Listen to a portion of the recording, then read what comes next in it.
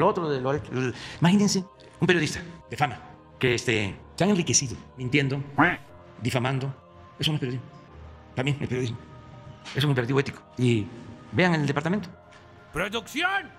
¿De dónde tanto? 12, 13 departamentos en la ciudad, más departamento en Miami. Eh, Tiene que aclarar porque parece que es vecino de García Luna. ¿Qué? ¿Se pusieron de acuerdo para aprovechar la oferta? ¿Quién se los ofreció? Y no solo eso, tiene mucho más, mucho más.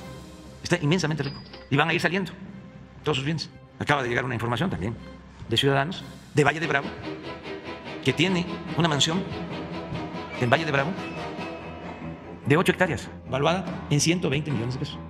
Tiene que aclarar cuáles son sus bienes, por qué. Todos los servidores públicos tenemos que manifestar nuestros bienes. ¿Y por qué?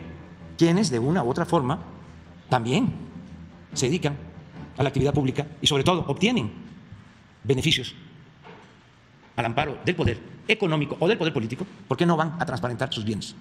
Y también aprovecho para comentarles que ya tomamos la decisión y que el 25% de todo el recurso destinado a la publicidad del gobierno va a orientarse a aquella seguridad social para los periodistas que no tienen ningún tipo de apoyo.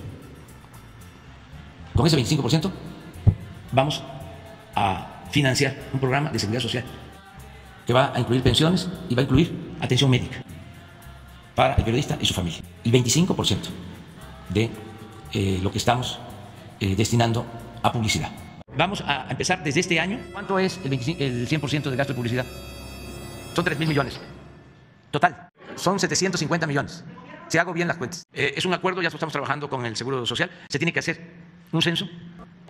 Hay que crear un comité de ustedes mismos para que ustedes mismos sean los encargados de eh, autorizar los apoyos, buscar que sea equilibrado, eh, justo, que comprenda a todos los periodistas del país. Era nada más para subrayar de que no todos son periodistas famosos que ganan muchísimo dinero y que tienen mansiones. No, la mayoría de los periodistas viven al día. Entonces, eh, es lo que vamos a, a llevar